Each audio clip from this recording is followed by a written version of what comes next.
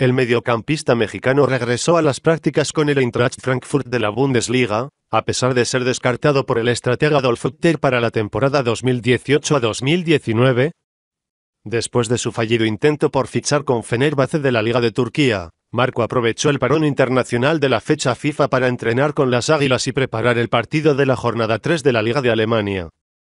Junto con el centrocampista azteca también regresaron a las prácticas Simon Falete, Nelson Mandela Mbouom, Mark Stendera y Branimir Gota.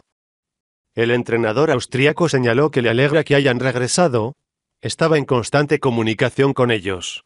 No estaban en los planes, pero después de la pausa internacional, tenemos siete juegos en 24 días, por lo que contar con un equipo más grande puede ser una ventaja. Por ello, Marco Fabián se pone bajo las órdenes del conjunto alemán en busca de un lugar en el primer equipo, luego de descartar la posibilidad de volver con las Chivas de Guadalajara.